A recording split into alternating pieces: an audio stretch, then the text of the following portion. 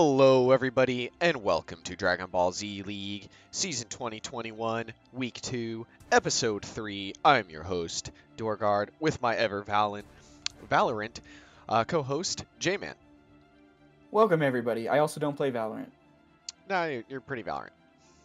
So with that, we are moving into the third episode, another two matches.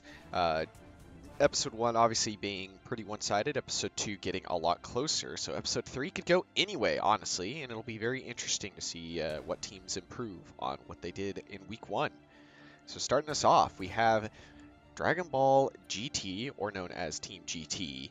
Uh, basically all of the characters from the spin-off show of GT going up against The Sentai Squad, everybody that is inspired directly by Power Rangers or Sentai, depending on what you know them as. So yeah, this should be a pretty good match. Obviously, uh, both teams a lot to prove this week. Going into the match, though, it's going to be a it's going to be an interesting start. Yeah, uh, starting off on GT, we have Syn Shenron with defense plus 3, attack minus 1, eternal life, latent energy, and Piccolo AI going up against Saiyawoman with super plus 1, dragon power, Dende's healing, latent energy, and Cell AI. So Shin did arguably the best, and he's on basically uber defense uh, Yeah. last week. So we'll see how he does starting off this week, because he can indeed do quite a lot. If he can get to three Blast Stocks, we can see Omega starting off with that B2 uh, trade, which has gone quite favorably for Saiyawoman. Yeah, I'd say so. Uh, only 6,000, I guess that's because of his uber defense, which will only get uh, stronger as he goes down. Yeah, I believe this is her two bar rush as well, so it's the Mhm. weaker one. It's meant to not do uh, too much damage, but it's also extremely cheap. And we did not Yeah. see Saiyawoman last week. She was uh, on their regular bench, so we will have to see. And she is starting off very strong. Yeah, I'd say so. Another, oh gosh, finally he dodges it. Uh, Adult Gohan is the one benched for Sentai this week. Yeah, and uh, Adult Gohan, very strong character, but also their free agent, so you know less tested than the rest of their squad. Where Saiyawoman was their MVP user last uh, season. I think she was also in the All Stars match, so very very strong character. Uh, which is funny because she's got very similar build to, or not build, but like kit to Videl. But Videl is one who struggles. So you know, quite interesting to see how you could call a clone character one way or another, and they can be on very different sides of the pole. Absolutely. I mean, just their small, minor changes make a huge difference, and you never know. Just the AI in general can be different. But uh, Syn pulling ahead finally. Saiyawoman had the lead for the longest time, but he's back. Yeah, a couple well-timed super trap shooters actually has helped turn it around. Uh, always funny how well he utilizes his trap shooter. All right, and he can transform now, or yeah, now, but he's too high of health, and we know he will transform because he did it last week. So Videl, sorry, Saiyawoman, try to take some health off. She either needs to do that, but arguably she should just tag. It looked like a good That's true. matchup when she got the two health bar lead, but he's obviously woken up and realized what's going on and went, silly human, I'm an immortal Dragon Ball. And now he's uh, just beating the ever-loving crap out of her, so she should Yeah. really just tag out and let somebody else start dealing some damage. Uh, or if she's going to stay in, absorb this ult. Okay, Justice Rush 2 is blocked, unfortunately. After Image Strike, still active. I thought that would have ran out by now. Justice Countdown, also dodged. He, he after he got hit by two of them, he learned. Oh, and he used his free trap shooter by being in max power mode. He's going to have a little bit of time to go for his uh, ult here or a powered up B2. That Will run he? Decides not to. Uh, in comes Saiyaman with defense plus 3, attack minus 1, power of rage, latent energy, light body savior, and Frieza AI using his uh, free, what is that, super explosive wave? Yes. Ooh, Blazing Storm. Whoa! He actually dodged it, and he's countering with a super explosive wave. Fantastic from Sandman. Absolutely, that was amazing. And now we have two tanks, both defense plus threes against each other. Syn is low, but he also has oh eternal life, and he's out. He's like, you know what? Transforming's cool and all, but I could tag. Ooh, bad use of Savior there by GT Goku. Dragon Fist, while a very strong uh, and you know powerful Rush B2, has very low range and minimal tracking, so it didn't go anywhere near far enough. Uh, did he get that justice pose off? I can't tell. It looks Yes, like he he did. did. Okay, I, I was thinking he, that it he hasn't lost any bars, but he has a charge and melee boost. Yeah, because I was like, I thought that was the ult one, but it's not. The ult one's a, looks a little longer, and nice little Yeah. slow uh, tilt a whirl to miss the kick. I like it. I like it. Nice style from Sandman. 10 out of 10, but the damage zero out of 10. Yeah. And that's really unfortunate that GT Goku missed that ultimate because he does have Super Plus 2, Q minus not his 1, ultimate. Indignation, Launcher Support, Fighting Spirit, Light Body, Savior, and Tien AI. Oh, sorry. His That's- ultimate is the uh, supernova size spirit bomb. Right, right, right, right. Is it uh, Super Saiyan 3 or 4? I thought one of them has Dragon Fist. Yes, Super ultimate. Saiyan 3 has Dragon Okay. Fist, I believe, as the ulti. So it's really weird that Super Saiyan 1, it's just a regular B2. Uh, Usually it's the it- opposite. Yeah, usually the ult becomes a B2 in later forms, but I think it's because it's more powered up. It has more visual stuff later. Yeah. But I might Alright, be well, wrong. okay, so GT Goku is taking it to Saiyaman right now. Saiyaman somehow getting that off, I guess, because of his light body. Yeah, light but, body uh, doing work. By the way, that pose is basically just tension up for those that are watching. It just gives uh, two bars of ki, Oh. melee, and charge boost. And this is the uh, pseudo ult. Will this be it? Nope. Okay. Did a lot, but he has a defense plus three, so that's why he lived that. Uh, I think he needs a tag though. He does have, I believe, um, what's it called? Latent energy as well. So it's actually Oh, closer. he got ki broke him. Oh, and it's two bars, so he's going to be able to get a lot of damage. And he's just going in on this combo. More posing. Mm, Wasted a little bit of time with that, but not the worst thing in the world. I mean, getting a free pose off is always good. And going into a super explosive way. Oh, wow. It's rare Getting we that see too that. far range. Yeah, it's rare we see it too far, and they often run into it as well. All right. Will he eat this super spirit bomb? He does not. Sandman would have been better off if he had managed to block and made him waste it. So this could do half of Jeice's health if he goes for it. Easily. And Jeice is coming in with Ki plus one, Power of Rage, Dende's Healing, Light Body Savior, and Yajirobe AI. Purple Comet Attack, that's it. Ooh, Oh, punched punched out out. of it. Though he did make GT Goku waste all of his time on Savior, so arguably not the worst trade. But yeah, would have been funny if he's like, "You want to see an ult? I'll show you an ult." Oh, and that Kamehameha for 10k. Yeah. Wow. Okay, so in Jeice, oh, looking like he was going to go up, but now we have a clash. Jeice should win this. Uh, Power Rage does. doesn't affect beam clashes. It doesn't? I thought No, it did. No, Clash Pataras do nothing for beam clash. It's pure random once beams hit. It's wow, not even like I, it's not even like oh ults get higher priority. It's like pure random. It's just whoever rolls their stick, I guess, faster, which is obviously random for AI. Well, um, I guess I should remember that. I feel like I've heard that before, but I should remember that. I think In comes- has preached it, but yeah, go ahead. Uh, Super Saiyan 4 Vegeta with attack plus 2, defense minus 1, serious quick fast attack, Dende's Healing, Power of Rage, and Yajirobe AI. Yeah, this will be interesting. Purple We've Comet seen- Attack Oh, spear breaking cannon. Now he should win this. should this win that. Oh, he does But he doesn't. Wait, they oh, both they have both power, have Power range, Rage. right? Yeah. We, we, we literally did the same exact thing in the same sequence. By the way, Rush B2s seem to give like plus 0.1 clash boost. So since they both also did a rush, it also evened it out that way. Interesting.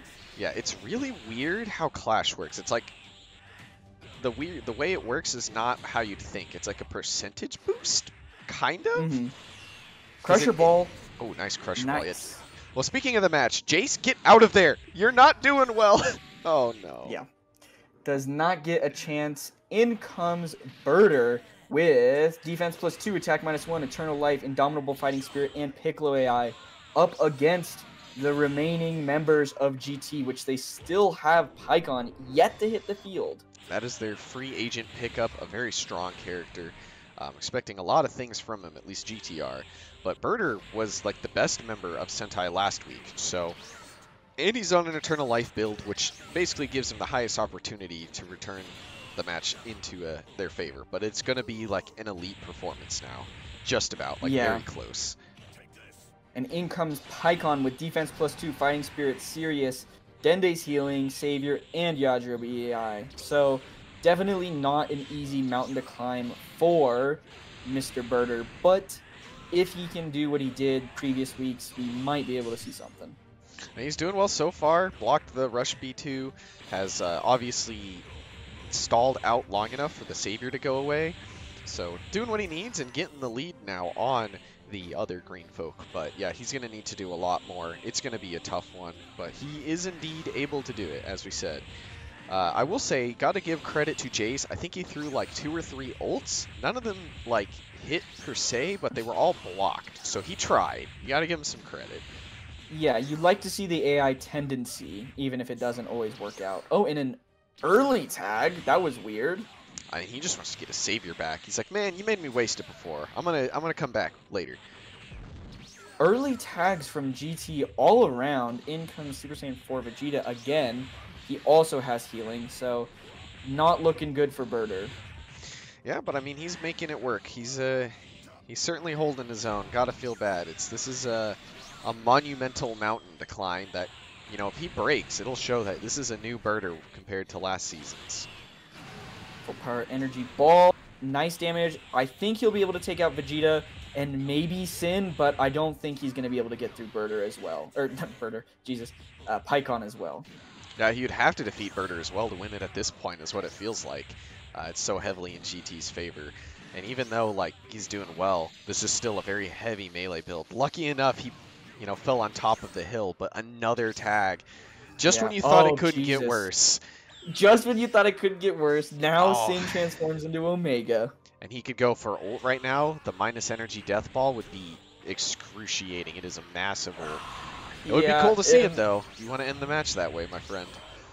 And he has Power Body too. Dragon Ah, Thunder. this yeah, should that's do gonna it. be it. Super powered by the max mode. He has defense, but it's not going to be enough. Uh, no, that was 10, probably going to be 10k if he hit the ground. So, a really strong victory from GT. Yeah, nice turnaround from them. Shin Shenron doing an easy, you know, 50 to 60k, which is great that he's keeping up with that. Super Saiyan 4 Vegeta turn around. and Burter still did just fine, albeit, you know, with a mountain to climb. But nice job from both teams. I think they are both to one and one now, so uh, you know, pretty even going on. Should I get moving on to our next next match then? Match number six. Uh, yep, let's do it. So match number six, we have all of our tournament goaters, basically anybody who has competed in a Budokai Tenkaichi tournament uh, in Team Budokai, going up against. Team Cinema, all of our characters that first appeared in a movie or an OVA.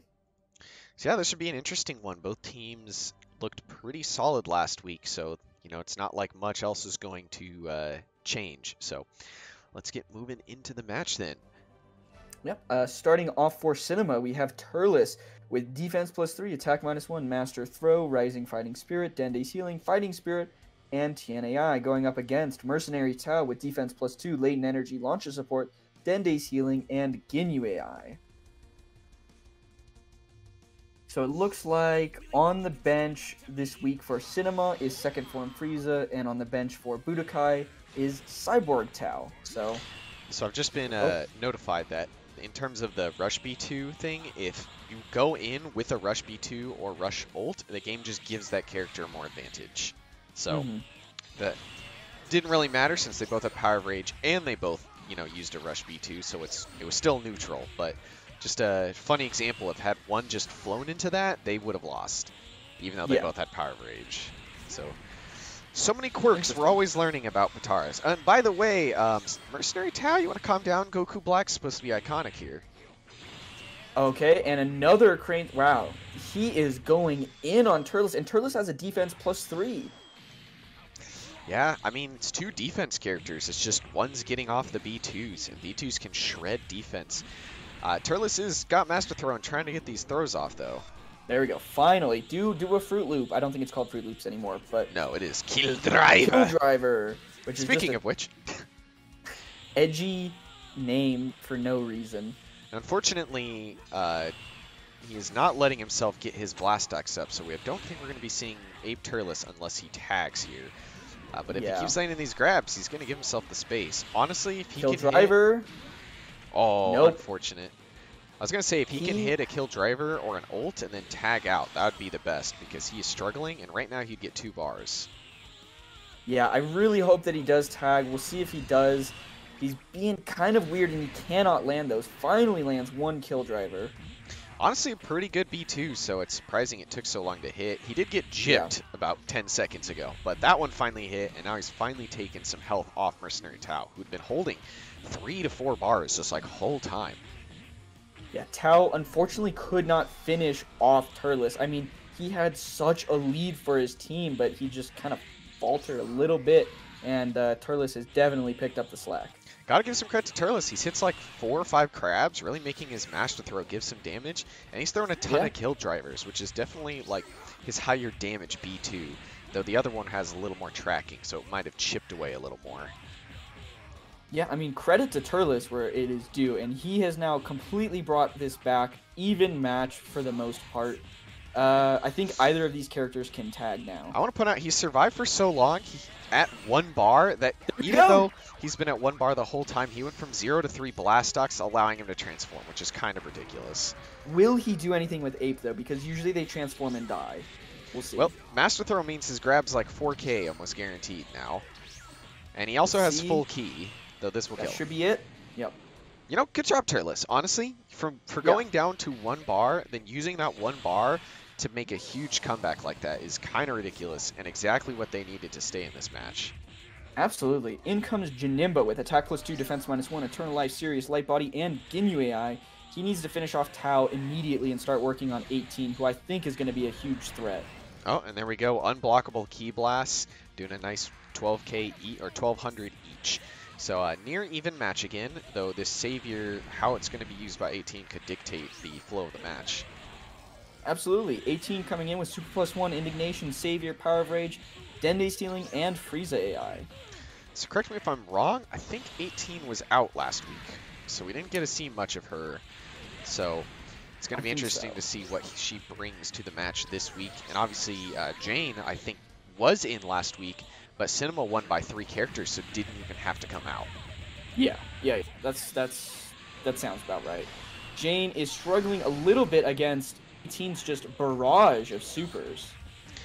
Yeah, this is the power of, you know, such a strong character like 18 who has really high passive ki gain, and being an android that having some of the highest one is just absolutely devastating for any opponent. But the defense minus one on Jane is probably not helping too much either. Yeah, absolutely. And uh, we I see Fasha in the back, and I think she would be a better matchup. But we'll see. Oh, that was a great B2 from Jane. Though it is arguable because, you know, the melee damage from Jane right now is absolutely insane, being so boosted right now by the Sirius and attack plus two. So we'll have to yeah, see. He's immediately brought it back with like a 10k combo. Wow, oh, this he doesn't have any Rush Blast boost. That was just doing a ton of damage. Yeah, he's just a character that has incredibly good Rush Blasts on their own. Uh, that health pushback is kind of risky, especially since she went into ult. There we go.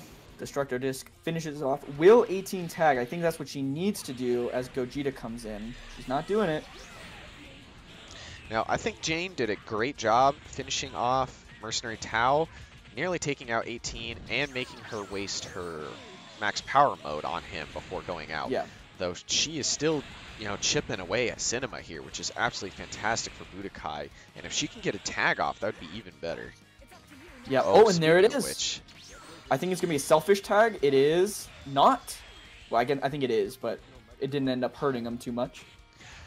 Yeah, this is a uh, very good, you know, use of that tag, and obviously very good by Nam to do a rush B2 to close the distance immediately, and he's just continuing. He is just pounding on Gogeta. Have we heard yeah. either of their builds yet? Uh, no, uh, Gogeta is coming in with Ki plus 2, Super minus 1, Rush Blast 3, Indignation, Serious, Latent Energy, and Cell AI going up against Nam with Attack plus 2, Defense minus 1, Serious, Light Body, Eternal Life, and Gohan AI.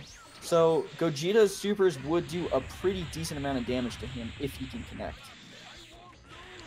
Yeah, it's uh, it's gonna be interesting to see which one of these guys, because Gogeta had a fantastic week last week, and Nam took out Majin GG, considering yeah you know, one of the better characters in the league, potentially. So, obviously a strong one at the beginning of last season. So, speaking of which, Gogeta's really pulling it back. Yeah, he has not been really charging. He's been going in with the melee, which he's not particularly built for. He has Sirius, but that's it. I suppose for that reason. He has, yeah, Indignation and Serious. So if he does land any of his supers, they would be decent damage. He also has gotten a few finish signs off, and I would like to point out that he has the best finish sign in the game because it's only one Blast Stock. Oh, that's not it. I thought that was it. But looks like, yeah, this should be it. Oh, What no, grab? the grab. Will he tag, though? This would be very clutch. I don't think he's going to. Nope. Uh, you know, it's like the B2 hit. He still slapped him in the back of the neck. And it's all down to Fasha. Now, if you had to give it all down to one person on Cinema, I think they would have Fasha be it. She did a number in last year's MVP and All Stars events. But uh, this is quite a match. I think, what, they have full health Yamcha, one bar 18, and now one bar Eternal Life Nam. Yeah. And I don't think that's an undoable thing, really, by any character. That's 60k. Definitely a good week, but nothing crazy. Yeah, it's not too out of the ballpark, especially for a character like Fasha. Though the for the villagers, I thought would be very bad if he did like a cross arm attack or hit with Yeah. an ult. But no, she managed to hit with the B2 and take him out right quick. Now Yamcha here is their uh, they did a loan to get Yamcha, Oof. so you'll be seeing him for this season only on Budokai, and that's an ult. Oh, ultimate spirit. Oh, wild sense. I thought she got hit by it, but that was just the uh, the rush blast. That was the uh, extra small spirit bomb that was following her. The extra large one missed. Uh, by the way, Fasha was coming in with defense plus two, Dende's healing, combo master, latent energy, quick fast attack, and Goku AI, whereas Yamcha's coming in with ki plus one, serious fighting spirit, savior, dragon power, and Piccolo AI. Well, And Yamcha's Yamcha doing not doing bad. Yamcha's doing quite well, actually. Doing a lot more uh, damage here than what Nam was doing, though Nam had a lot less health. Ooh, Oh, stopping her she going. ch- just charged. Now, sadly, while this is an air quote night map, it does not have a moon, so no Ape Fasha. Yeah. Unfortunately, no Ape Fasha, unless she can't do the Spirit Ball mix, right? No, she is a require specific map character. Oh, nice B2. Man, she's even it up all of a sudden. Uh oh, bad Oh, B2. Oh, this is a good B2. Check this out. It's going to knock him Oh, Oh. Did not work out in her favor. This will do some decent damage. She's gonna have to clutch up, but she could do this. Yeah, it's still very much in range. Nice wild sense there. Uh, I mean, this is this might come down to the wire, or Yamcha might just finish this. Though there is the possibility that she kills Yamcha, 18 comes out, and then just hits with the B2 or ult, because she is at Yeah. dangerously low life. And she has Savior. 18 does. Yeah, but Fasha is looking very dead. I don't think she's gonna go to that. Uh, obviously, that B2 misses because she's on the ground, but it doesn't matter because Yamcha kills her anyways. Well, I'd say it was a pretty good showing. You could argue that that was a a fine showing from Fasha. Uh, but yeah, that lead early just kind of somehow Budokai was able to turn it into a big lead by the end. Uh, kind of funny how it started with a two-bar lead and ended with a two-bar lead. But good job, Budokai getting their first win, and I believe Cinema going to one in one. So evening up here. Lots of lots of teams going to be doing that this week. Absolutely, and I think that's the end of the episode. Yes, it has been a excellent episode 3. Thank you all for watching. As always, we have in the description down below links to the Discord where you can join in active discussions, watch parties, join teams, uh, make suggestions for the league. There's also a link to the website which will have all your information from stats to team themes to the schedule and of course a link to the Twitter, which will have updates on when events and other things are going on. I am been your host, Dorgard, with my ever stern co-host, J-Man. Have a good day. Goodbye, guys.